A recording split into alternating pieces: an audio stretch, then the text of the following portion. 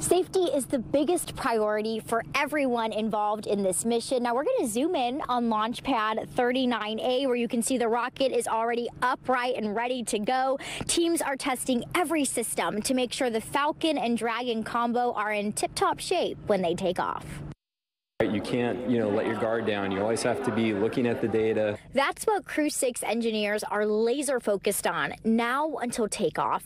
This is Endeavour's fourth flight, taking these four men to the International Space Station. From the United States, Commander Stephen Bowen, who's making his fourth trip to space. He's a veteran who served on three shuttle missions, alongside three others on their first trip to the ISS. U.S. pilot Woody Hoburg, and from the United Arab Emirates, mission specialist astronaut Sultan Al-Neyadi, and from Russia, mission specialist cosmonaut Andrei Fedyaev.